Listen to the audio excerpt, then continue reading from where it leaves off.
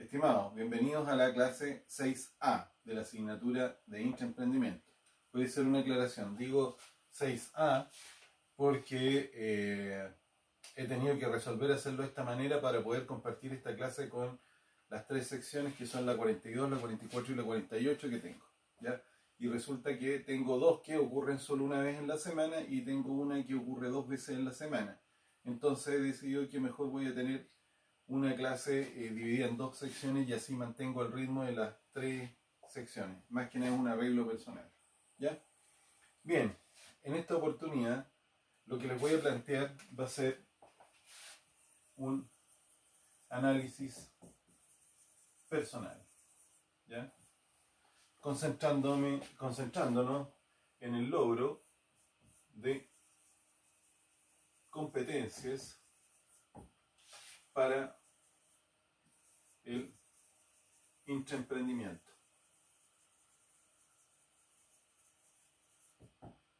Bien, me voy a explicar un poco. Yo lo que les voy a proponer es una metodología adaptada ya de, de otras metodologías que son de ingeniería propiamente para hacernos una revisión. Eh, pero tratando de concentrarnos en que lo que queremos es lograr obtener algunas competencias, es decir, eh, unas características y atributos personales que nos permitan formar parte de ese logro de intraemprendimiento que podría haber en una empresa, entendiendo que en el fondo era eh, podernos ver o proyectar como eh, agentes que crean valor o que aportan valor en una organización o en una empresa. ¿Sí? Bien, entonces vamos a hacer algunas definiciones por colocar algo, por mientras diciendo que dentro de esas competencias podríamos encontrar el liderazgo, que definimos que el liderazgo era la capacidad, es una capacidad para crear condiciones de participación. En el logro de un objetivo. Posiblemente no se ve muy bien, pero eh, ustedes van a poder escuchar el video y se va a entender mucho más clarito. Bien, luego teníamos otras habilidades que podían ser, por ejemplo, el trabajo en equipo. Parte de esas competencias. ¿sí? Bueno, ¿qué quiere decir eso? Quiere decir que serían aquellas habilidades que nos permiten a nosotros eh, cooperar, cooperar en el logro de un propósito o de objetivo que tenga una organización, ¿sí? poder participar, pero interactuando con otros, desde nuestra disciplina, desde nuestras habilidades. ¿ya? Y finalmente uno que hemos tocado apenas meridianamente, pero podríamos eh, considerarlo igual, porque puede ser muy importante, la creatividad y la innovación. A eso nos vamos a referir con más detalle en las siguientes unidades, pero lo voy a explicar. Básicamente la creatividad tiene que ver como con este talento artístico que tenemos nosotros en, términos de generar eh, ideas nuevas, productos nuevos, eh, soluciones nuevas, ¿sí? En el sentido de, que estamos generando algo que no existía, es decir, aportando desde lo que somos nosotros, creando algo. Yo le digo, tomémoslo en el sentido artístico, porque es mucho más fácil pensar como eh, en pintura, pensar en, en, nuestra capacidad de inventar cosas, cuando hay algunos que son medio giros sin tornillos, como se decía antiguamente, que les gusta inventar cosas. Bueno, pensemos en nuestra inventiva y nuestra capacidad artística, crear. Y luego la de la innovación, que es lo mismo, pero innovación por definición es esa creatividad más el dinero. ¿Ya? Lo estoy resumiendo de una manera bastante grosera. Bien, ahora, ¿qué tenemos? Yo les propongo hacer un análisis muy de ingeniería y simplemente plantearnos hacer un análisis FODA sobre nosotros mismos. ¿Sí? ¿Qué es lo que es un análisis FODA? Un análisis FODA no es otra cosa que eh, examinar nuestra fortaleza, ya en el plano interno, nuestra fortaleza y nuestras debilidades. ¿Sí? Desde la fortaleza desde lo positivo y las debilidades desde lo negativo. analizar nuestro entorno eh, externo, más cercano o un poco más alejado, ¿ya?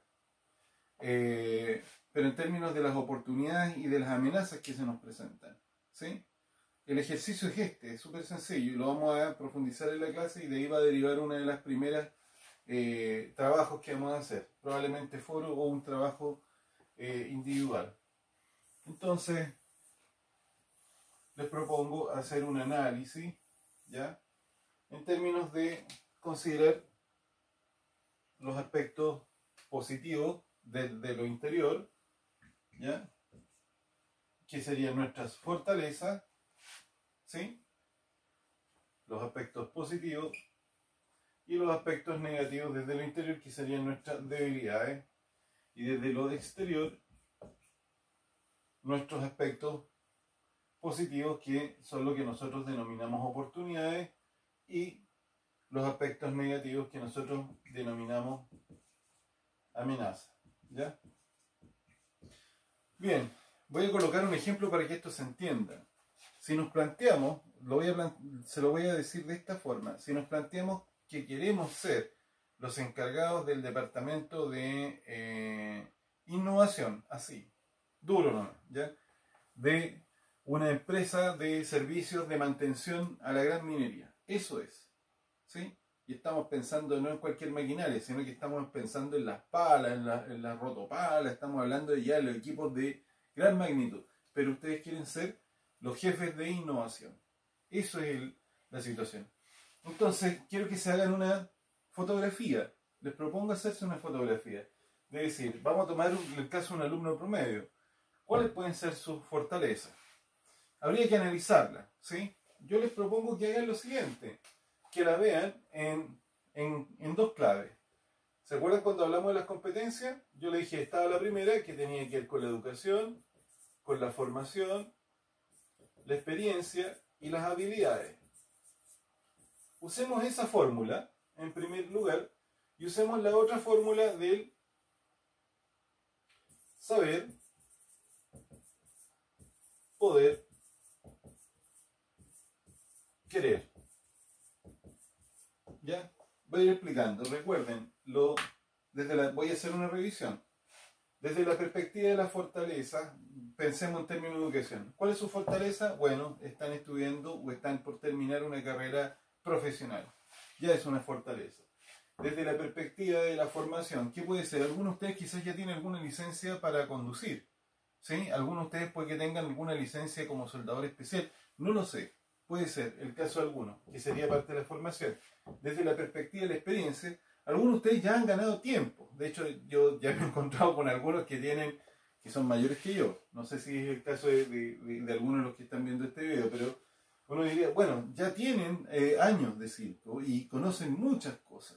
¿sí? Recuerden, tiempo y variedad. Y luego tenemos las habilidades. Y bueno, dentro de esa habilidad, en una de esas tenemos algunas de estas. ¿Ya? Ahí tenemos una clave. Veamos, desde la perspectiva de las debilidades, bueno, a algunos de ustedes les falta. Quizás van a ser ingenieros de ejecución. Quizás algunos de ustedes consideren que podría ser civil. Ojo, recuerden esto. Planes especiales de trabajadores, PET, que tienen algunas universidades que le puede servir a ustedes como dato. Lo dejo ahí. ¿ya? Bien. Podríamos decir que de la formación de debilidad, bueno, es que no tienen. No tienen, no saben usar tales soldaduras, no tienen una eh, un, curso especializado para algún tipo de materia, no lo tienen. ¿Ya? Bien, luego, ¿qué es lo que tenemos? Sobre la experiencia, puede ser una habilidad, bueno, ustedes, muchos de ustedes son bastante jóvenes y no tienen tanta experiencia o tanta variedad. Y bueno, y en términos de la habilidad, bueno, podría ser de que a algunos de ustedes todavía les falta algo de disciplina. Por poner un caso. Podría ser que son demasiado inteligentes, pero no son tan creativos. Bien, Veamos ahora esa misma, ¿ya? Pero la vamos a plantear en términos de la fortaleza, en términos del saber, poder y querer. Veamos cómo funciona la misma, el mismo escenario.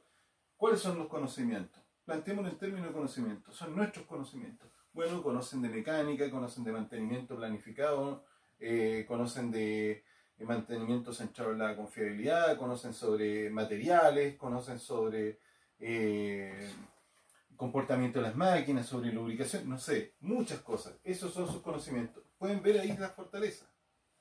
¿Ya? Sobre el poder. Bueno, veamos. Algunos de ustedes son lo suficientemente jóvenes quizás que pueden asumir algunos riesgos. Otros quizás son mayores y su, su, actual situación les hace ser, eh, como quien dice, eh, tener un margen distinto de movimiento, pero, pero puede ser un margen más afortunado. Quizás están mirando cosas que, como quien dice, están como un poco más pendientes de los peces gordos que de, del pejerrey. ¿ah? Andan buscando más cachalotes que, que, que, pejerrey, ¿cierto? Bien, y luego tenemos el querer, que tiene que ver con nuestras motivaciones. Ven que es súper sencillo. Puede decir, oye, Puede que no sean tan ambiciosos, o, sea, puede que sean muy ambiciosos, o podría ser que no. Si lo ven como una debilidad. Listo. Hagamos una... Ahora veamos cómo interpretamos esto que tiene que ver con los factores exteriores de este análisis. Aquí ya no podemos usar esto. ¿Sí? Entonces yo les propongo hablar en clave de entorno cercano y vamos a hablar del lejano. ¿sí? Vamos a definir que el entorno cercano evidentemente es el trabajo, la ciudad, eh, el INACAP, por ejemplo. El lejano puede ser todas las empresas que se encuentran dentro de la región, universidades que están afuera. Esos son los entornos lejanos, ¿ya? Para poderlo llevar al terreno de algo más sencillo. Bien, oportunidades otra vez, alumno promedio, desde el entorno que, como quien dice, que es más cercano.